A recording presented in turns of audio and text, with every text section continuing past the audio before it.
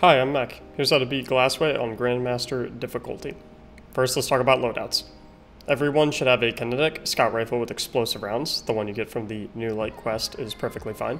One person needs a solar anti-barrier weapon. The other two can run any other anti-barrier weapon. I like Stars in Shadow for solar, and IKELOS SMG otherwise. Everyone should run Anarchy. If you're on Solar Stasis, run Spoils of War for heavy on champion finishers. Otherwise, run Thermal Overload for overload stuns on grenades. Everyone should run Surge Eater for grenade recharge on stuns. Use Overload Scout and Anti-Barrier for the gun you chose, either Pulse or SMG. Also use Global Reach if you have a Warmind Cell weapon. Optional mods that help with survivability are Charge Harvester, Stacks on Stacks, and Protective Light. All classes should run Stasis with Duskfield grenades to stun and freeze Overload champions. You can also use Ursa Furiosa on Titan for safer reses, or Top Tree Voidwalker with Controverse Hold for better burst damage. Alright, let's go. First thing you're want to do is pull out your Sparrow and go forward until you find the first set of ads. Team shoot the ads from far away with your Scout Rifle. Use Scout Rifles and grenades to stun and kill Overload champions. Make sure you're careful of snipers, they hurt. Jump into the first room to spawn ads and then run back out. You can stick Anarchy down on the top of the ledge to deal with wretches. Kill the Overload. Next, kill the anti-barrier champion. You can finish it for heavy if you have Spoils of War. Alright, next room. Anarchy the boss. Go ahead and shoot the miscellaneous ads. Kill the Overload. Kill the barrier. And then you're off to the next room. Jump down and then come back up to spawn the ads. Make sure you shoot from very far away and careful of the boss. He's a sniper. Kill the rest of the ads and the champions. Kill the boss. And next room. Kill all the ads. Kill the champions. Kill more champions. Careful of the snipers, they hurt. And next room.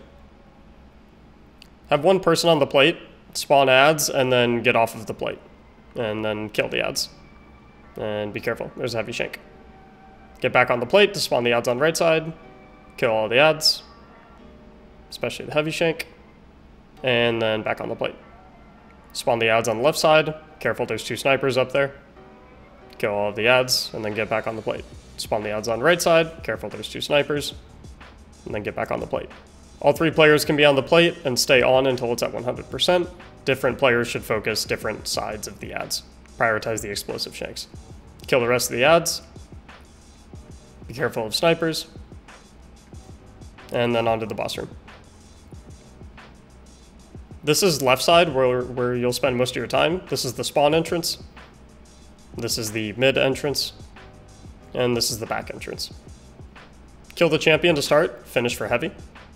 Aggro the overloads through middle. Careful of the small boss. Kill the overloads. There's two of them.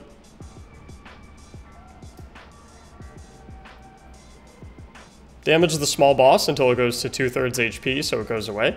This will make two more overloads spawn. Bait the overloads through middle, and kill them.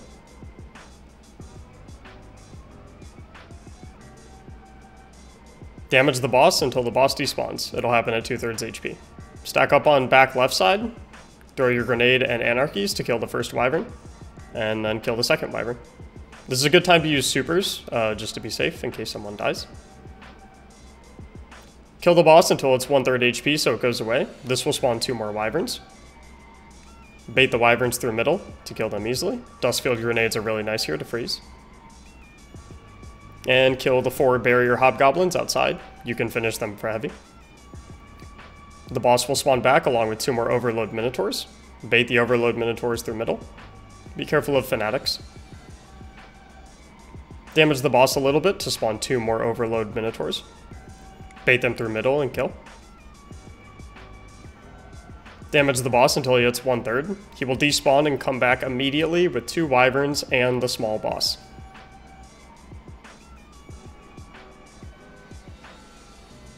Kill the left wyvern immediately as it comes out of the portal. Go back into left room and kill the second wyvern. Kill the small boss. Stay far away from it after killing so that the death explosion doesn't kill you. This will spawn two more wyverns. Bait the wyverns through mid and kill them.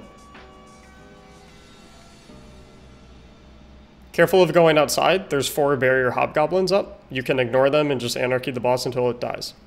Good job. You beat Glassway on Grandmaster. Make sure you hit subscribe.